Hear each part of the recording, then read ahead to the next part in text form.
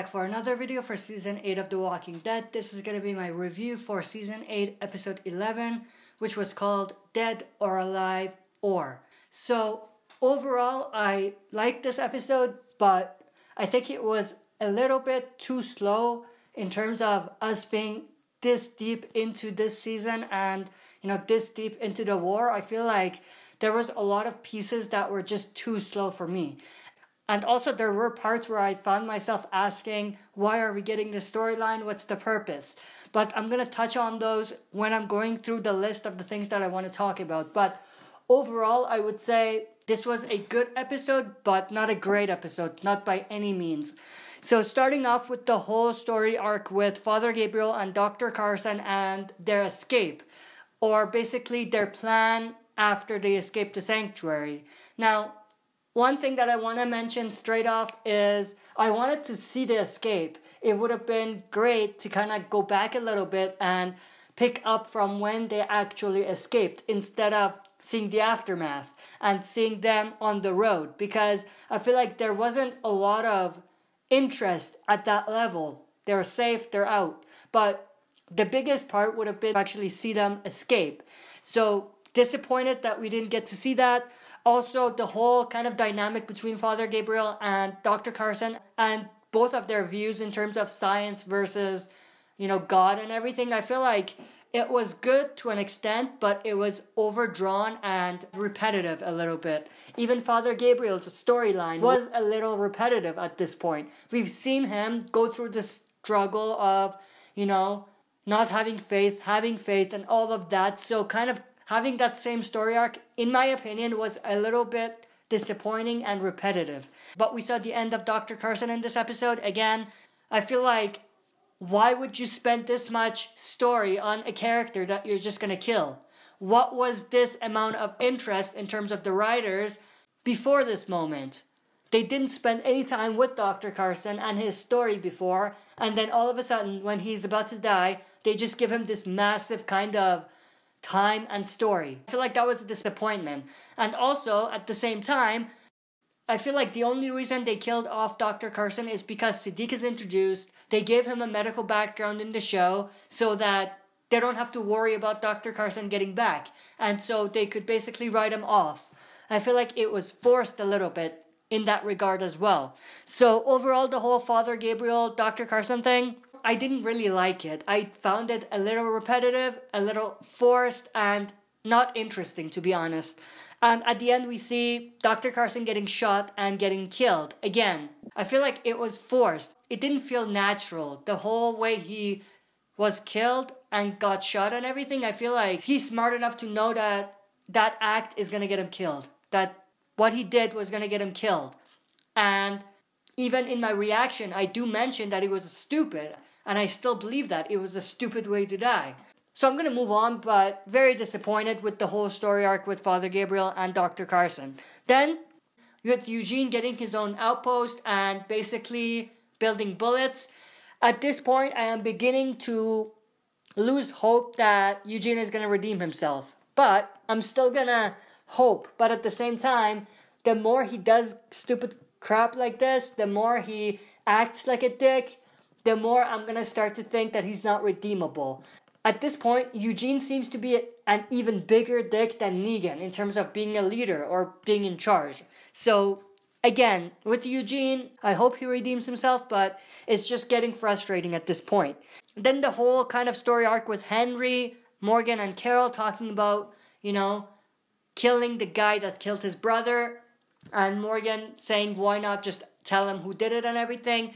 I like that, but at the same time, I feel like they're making Henry be this kind of badass, tough kid while he wasn't like this before.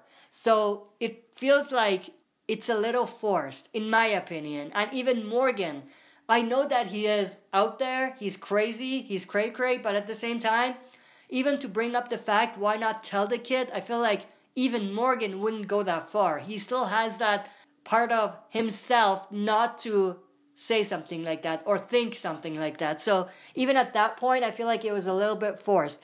And I don't know what it is about Carol and Morgan's story, but at this point I'm getting frustrated with it. It's like their story is flipped. We have Carol acting the same way Morgan did in the previous season, and Morgan acting the way Carol did in the previous season.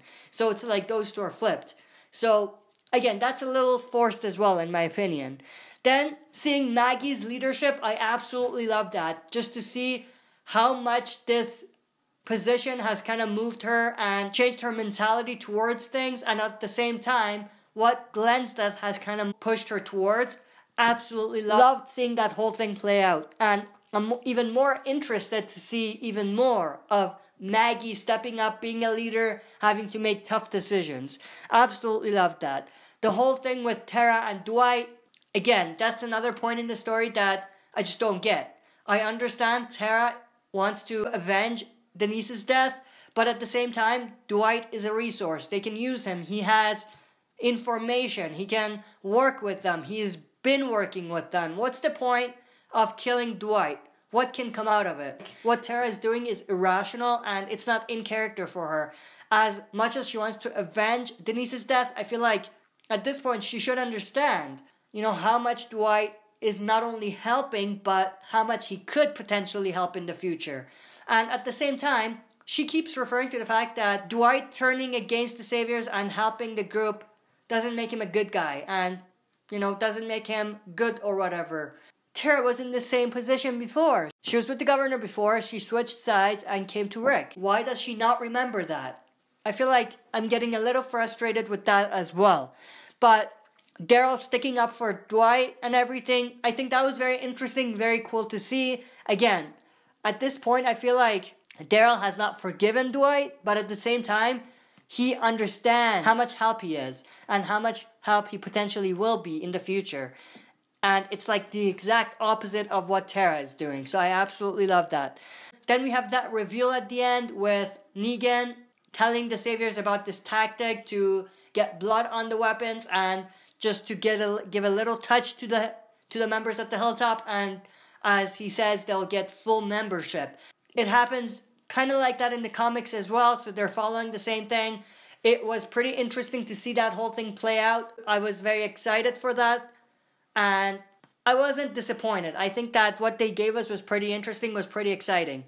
But at the same time, Eugene came up with that idea. I don't remember whether that was the same in the comics. I don't think it was. But, you know, Eugene, I just can't get over the fact that Eugene is doing so much to basically hurt or kill the people that he was with. I feel like it's starting to become very hard to stick up for Eugene and say he's going to redeem himself.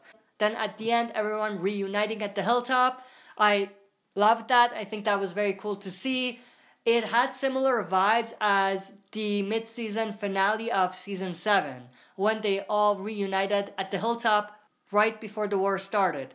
But everyone learning about Carl's death, a massive disappointment because they didn't show it. They just had music, they switched between different characters, pretending to hear this and pretending to be shocked. That whole thing didn't work for me. I wanted to see that firsthand. I wanted that. I didn't want some montage. I didn't want music over it. So, massive disappointment as well.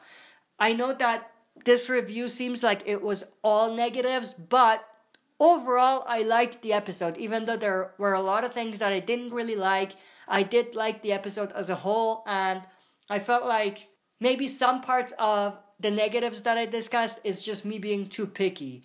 So overall, I think that it was a good episode, but it could have definitely been better. But that's basically it for my review. Just a reminder, I will be going live in a few minutes, maybe even as you're watching this, I will be live, but stay tuned for my live stream because I am going to be live tonight.